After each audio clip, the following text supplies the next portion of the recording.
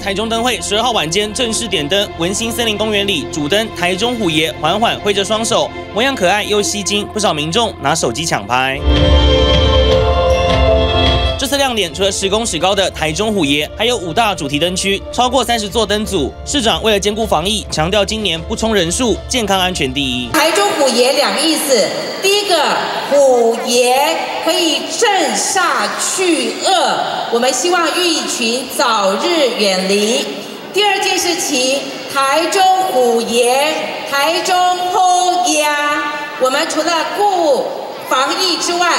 也要拼经济。关旅局统计，这次灯会已经涌入超过六万人次。十二号晚上刚好是过年最后一个周末，破万人赏灯。工作人员说，灯区内会控管人数在两万人以内。台中市民跟市政府携手合作，我们的疫情相对平稳，所以才能够举行中台湾灯会。